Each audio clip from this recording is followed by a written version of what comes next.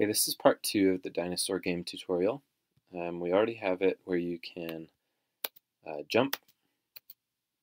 We just need to add some objects that fly towards this guy that he has to jump over.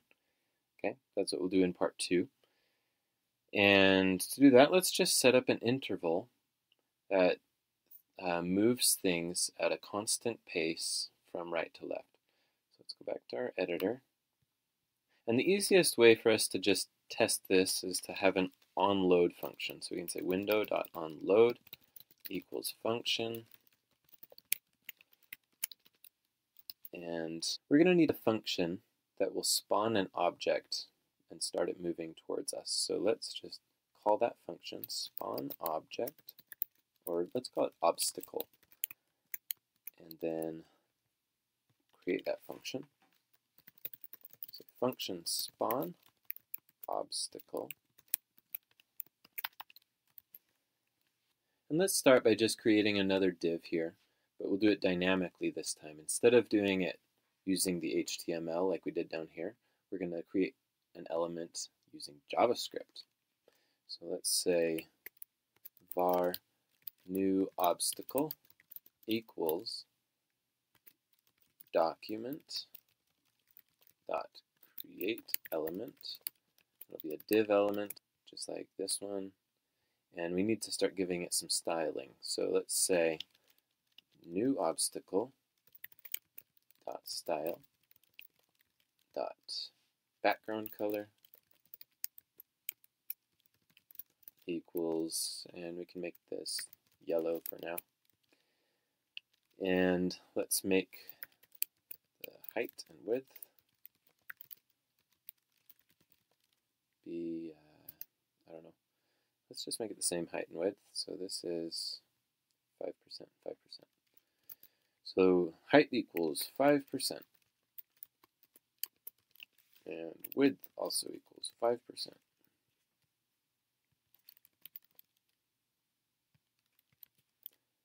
Okay, and then also position needs to be absolute. And the actual x and y coordinates of this we can define using the top and left attributes. So top is going to be a constant. These are always going to be the same distance from the top of the screen. And the ground is at 50%.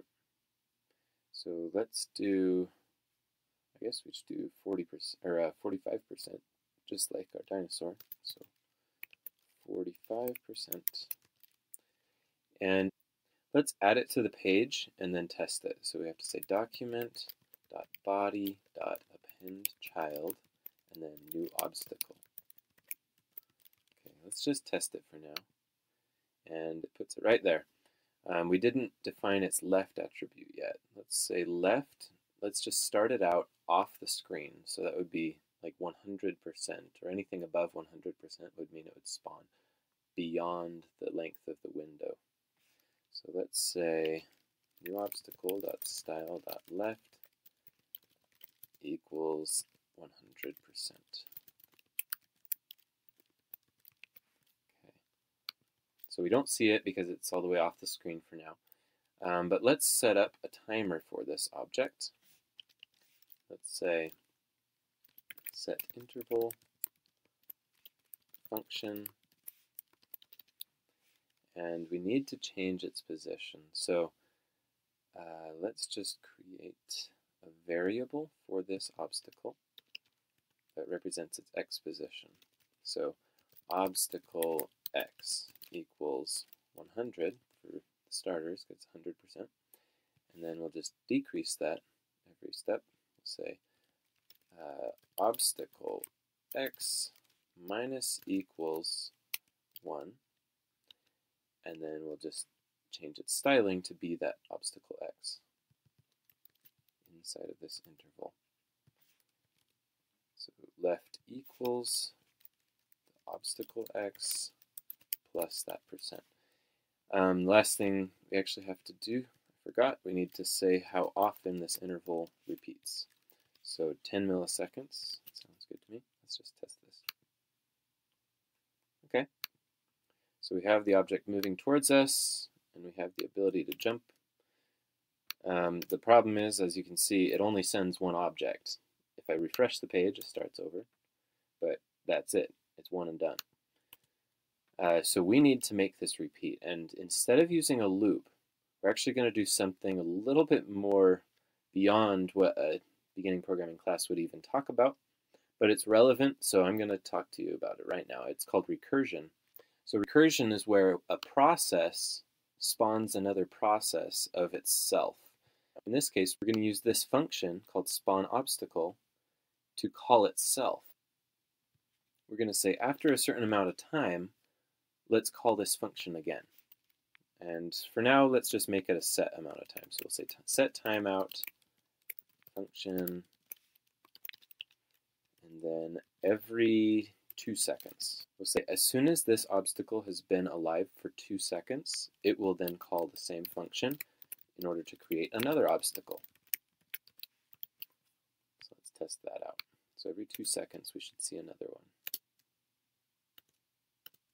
And it seems to be getting faster and faster for some reason.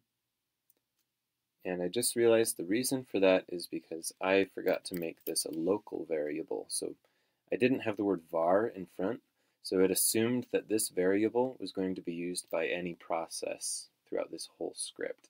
So if I say var, then that means we're going to use a new variable for this particular instance, for this particular obstacle. So every single one that gets created has its own process. So now when I run it, you'll notice it doesn't speed up to uh, unmanageable speeds like that. Of course, we do want it to speed up, but not quite that fast. So, uh, so let's add a little bit of randomness to this. Right now, it's just always going every two seconds. Let's make it so it has a range of time where it could spawn anywhere between like two seconds and three seconds maybe. So let's say um, respawn time and let's create that variable right here. We'll say var respawn time equals math dot random multiplied by 2000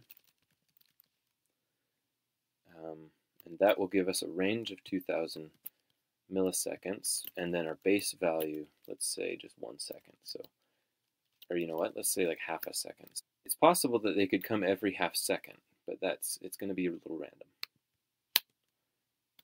So this one came a little faster, this one waiting a little bit longer, faster.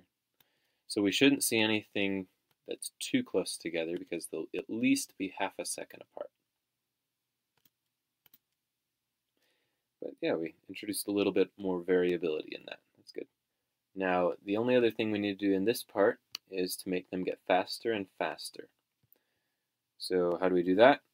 Well, one easy way is to keep track of how many objects have already spawned, and then each time, like every 10 objects that spawn, we increase their speed a little bit.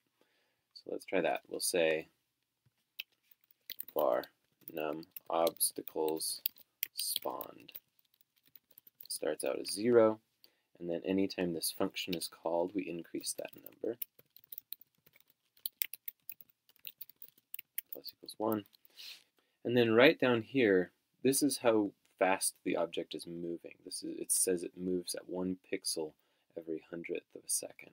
So we can make that get a little bit faster and faster by increasing the number of pixels that it'll move.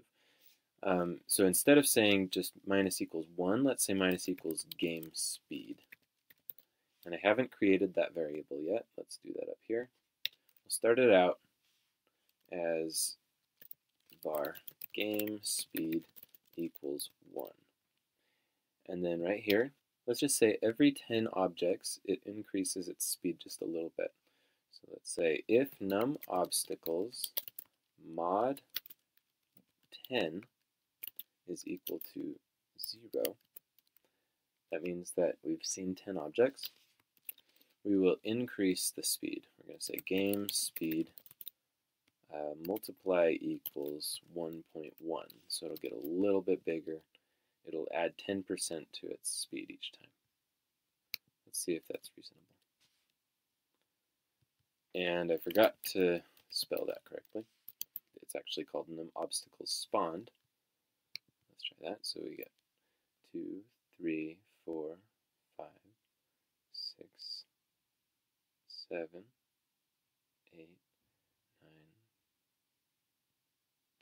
So it should be moving a little faster now.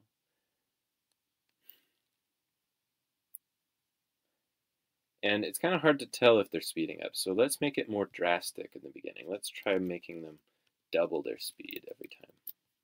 As soon as we've seen 10, it should go twice as fast. Actually, it started out twice as fast because the very first iteration is a multiple of 10. So let's have it start out at 1. That way, 9 objects have to pass first. Okay, 2, 3, four, five, six, seven, eight, nine, and now we should see the faster. Yep. So it is speeding up. And obviously, multiplying it by 2 every time we see 10 objects is going to start getting really fast. Um, get to 20, let's see how fast that goes. There it is. Um, and you'll notice the gap between them is still pretty similar. It's pretty consistent. So we need to also decrease the length of time between spawning as we go further. So if we can somehow use the game speed to our advantage in the respawn time, let's see if we can just divide this 2000 by game speed.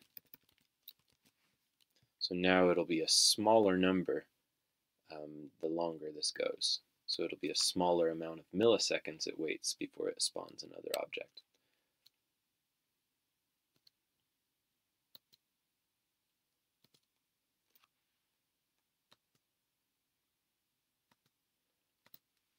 So once we've seen 9, of course, it's going to double its speed, and it should reduce the amount of time between as well. And of course, it is still very much unmanageable so let's change it back to 1.1. Uh, 1.2 maybe.